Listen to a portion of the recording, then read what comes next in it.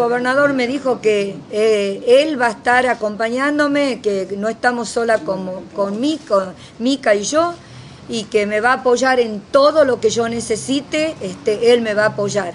Nosotros hemos creído en este tribunal, porque acá está el doctor Garmendia y el doctor este, Dantona, que son los que han estudiado el expediente palabra por palabra, coma por coma, y las pruebas están dentro del expediente. Ustedes vieron cuando las chicas se sentaron ahí, vos me violaste, vos me hiciste esto, vos me hiciste lo otro. ¿Qué más pruebas quieren que tenga? Acá la policía sigue con la misma textura, que la chinita se fue porque quiero, porque quiere, que es una torrantita, que ya va. Capacitación y que se saquen eso de, eso de la mente, de que todas las mujeres son putas, que todas las mujeres nos sirven, nos servimos, que somos, que somos eh, trapo de piso. Acá estoy más firme que nunca. Chicos, no vamos a parar hasta que no lo saquemos a estos tres sin vergüenza, vende gente, no podemos seguir teniendo estos jueces. Las palabras de la presidenta de hoy, Susana, que dijo que pidió democratizar el Poder Judicial, ¿la escuchó por televisión?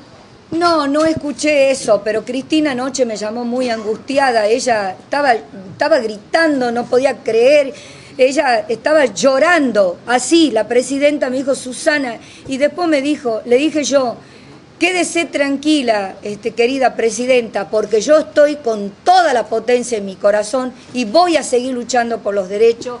Yo no, no me van a voltear. Y ella me dijo, ¿de dónde saca tanta fuerza, Susana? Porque yo estoy acá que con una impotencia que no sé qué hacer, pero quiero que hagamos algo. Quiero que esto no quede así. ¿Y le dijo qué sería ese algo?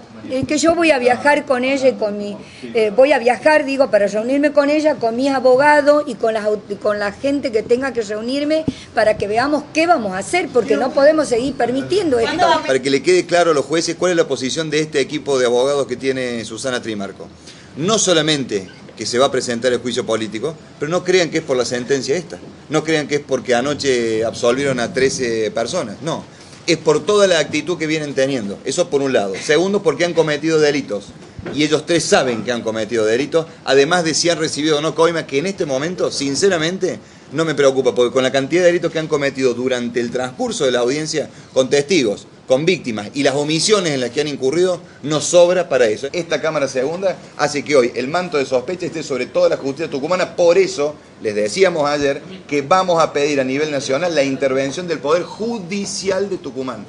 ¿Cómo lo van a instrumentar, doctor? ¿Cómo lo van a instrumentar ese pedido? Primero vamos a pedir las audiencias que corresponden con el presidente del Senado, con el ministro del Interior y de, acuerdo a eso lo vamos a intentar. Pero creo que ustedes son tucumanos. Yo soy, yo soy foráneo, pero creo que ustedes pues se podrán dar cuenta de lo que se ha vivido no en 10 meses, de lo que se ha vivido en 10 años.